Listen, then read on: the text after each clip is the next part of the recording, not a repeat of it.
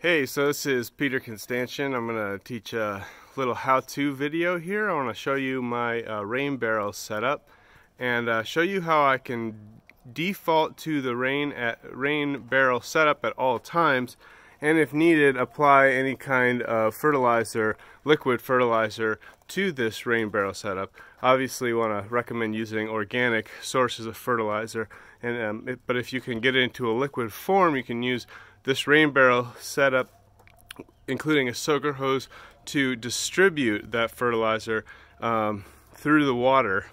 Uh, of course diluted by rainwater or I'll show you how to attach your house water supply to your rain barrel so it becomes a fertilizer distribution center. All right, let's take a look. So here we have this rain barrel and uh, standard I think 55 gallon drum. And uh, it's uh, currently getting water off the downspout which as you can see is attached to the the new porch and also tied into the the the the drain for the length of the house the gutter for the length of the house. So obviously there's a drain down at the other end of the house. And so we're not getting the full um, drainage from this section of the roof, but we are getting a sizable amount that will run down to this end. And um, so I want to kind of show you what I've got my, what my setup here is here. So from the rain barrel, as you can see, uh, from the rain barrel, we have um, an attachment down here.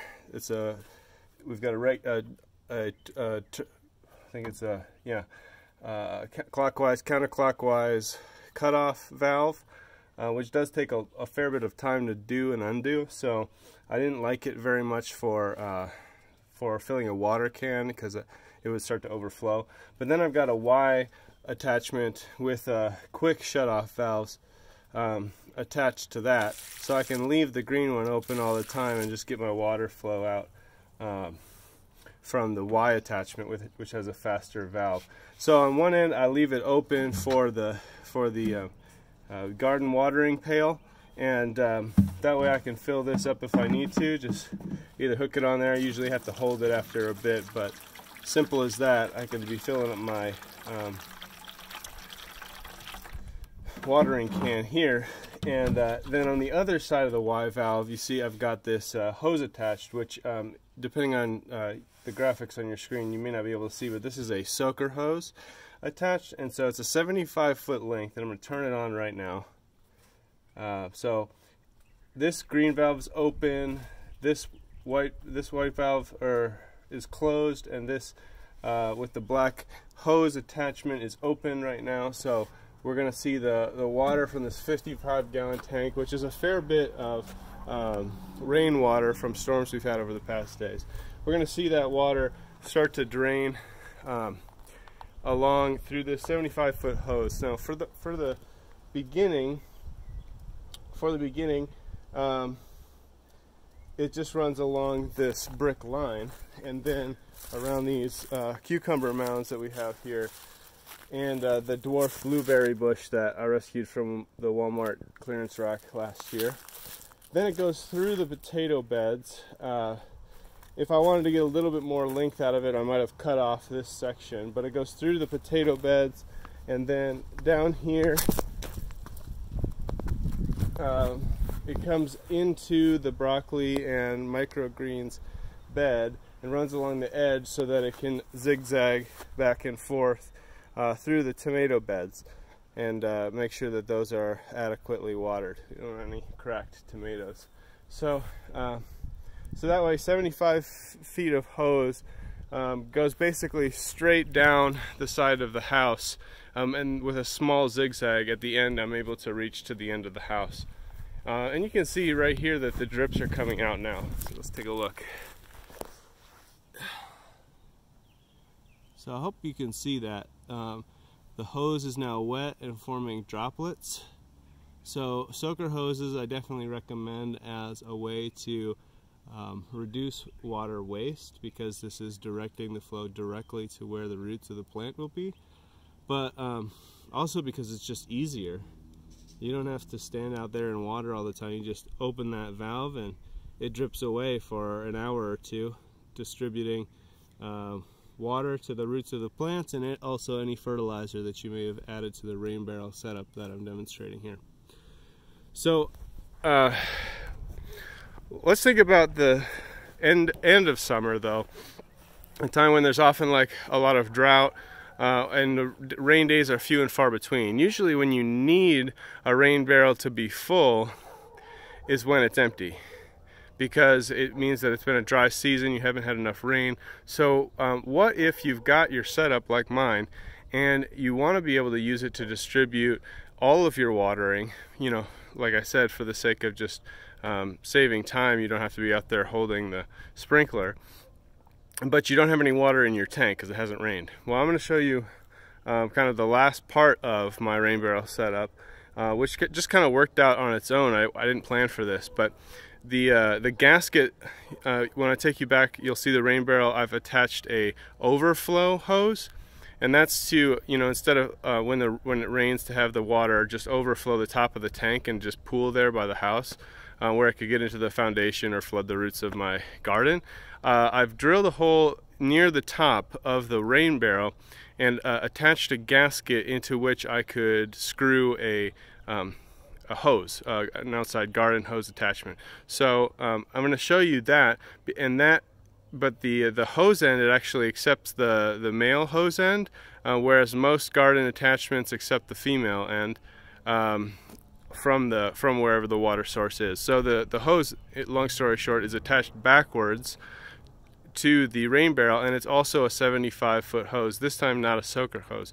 That means the female attachment came comes around the side of the house where I wanted the drainage to overflow um, and I realized today that um, if I if I need to fill that rain barrel up since this drainage hose this overflow hose is attached backwards I can actually hook it up to the spout on the back side of my house filling up the rain barrel by running the, the uh, overflow line backwards and then I can top up that tank in case of a really dry season. So let me show you this. So here I have attached the um, the overflow hose that on the other side is the um, is the rain barrel tank. So I've got it running right now. Let's see how full it is. I'm just going to leave it running.